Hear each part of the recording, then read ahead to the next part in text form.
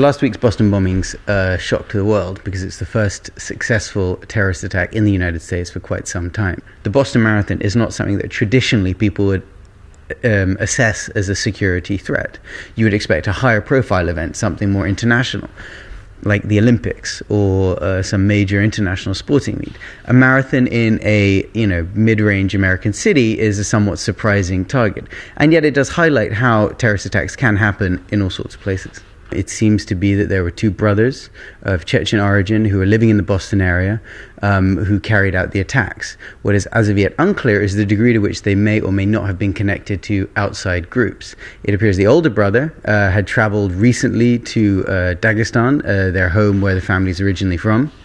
Um, and it appears that his online activity demonstrates some level of radicalization. It also appears that the Russian authorities were at least concerned enough about him that they informed their American counterparts of um, his activities and him as a person of potential interest. However, they were willing to let him travel in and out of the country. One suspects that they might have decided to do something if they thought he was a more dangerous threat uh, a sort of potential threat.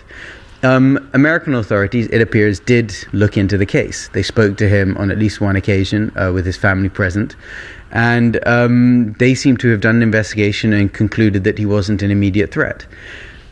What can we draw from that? It's very difficult to know. It's possible authorities at the time may, have been very busy with other cases or other uh, operations it's possible that the information simply didn't reveal a potential case or didn't cross a threshold of concern that would deem deeper investigation. It's also possible at the time um, he was not particularly thinking of carrying out any sort of terrorist incident. It might have been subsequently that he decided that this was an act he wanted to do, or this was an act he had been tasked to do. I think it's very difficult to know exactly what the Chechen element in this is. It could just be that these happen to be two Chechen individuals who decided to go carry out this loner solo terrorist attack by themselves. It could be there is more to it. Uh, it could be that when they went back to Chechnya, the older brother was able to make connections with radicals and other individuals who helped him supply, who helped him train. Traditionally, it has been very rare to find Chechens involved in international jihadism or at least attacks against the West. We have had repeated instances of Chechens showing up on battlefields in Syria, most recently in Afghanistan in the past, in Pakistan at various times.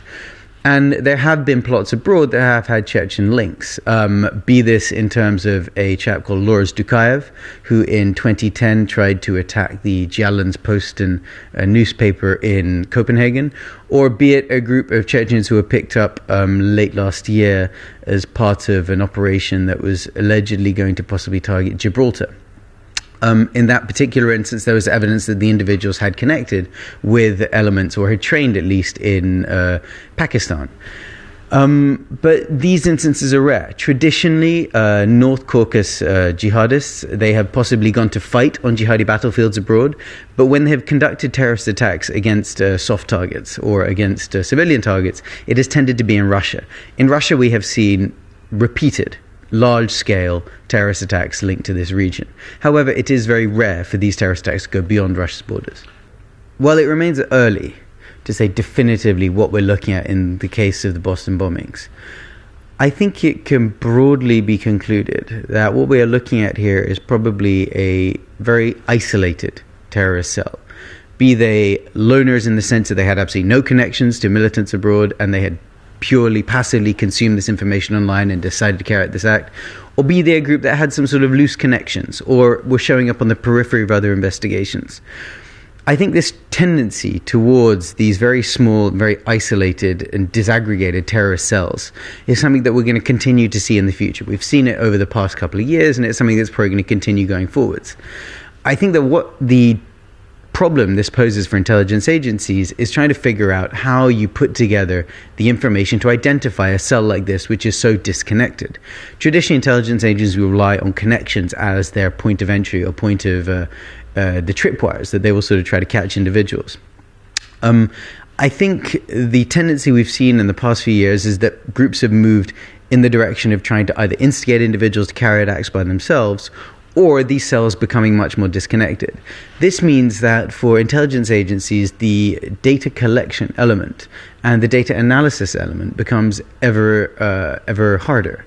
Um, But I think that uh, finding ways of connecting the dots and of understanding the sort of broader pictures that you're looking at is something which is clearly going to be key in uh, understanding how to counter future terrorist attacks. The United States has uh, is probably going to walk away from this learning the lesson that they need to do more to try to understand and prevent radicalization amongst uh, parts of their communities. Um, so far, the United States has a rather underdeveloped uh, countering violent extremism, or, or, prevent as it's known in British terminology, um, program. Um, and I think refocusing on that is clearly something that is going to uh, have to happen in the next few years, given the continuing appearance of cells like this or individuals eager to go and fight abroad. Um, I think the other element that is coming out of this particular plot is the media reaction and the importance of social networks and social media in spreading information and misinformation amongst uh, the broader public community. I think that governments going forwards, in particular the United States, with its very active and very large media community, um, is going to have to find ways of managing media response in terrorist incidents like this better.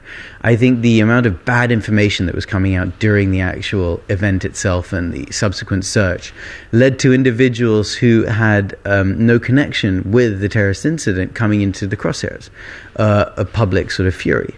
Um, and that is not good. And it also further enhances the effectiveness of the terrorist attack because it further throws confusion into society.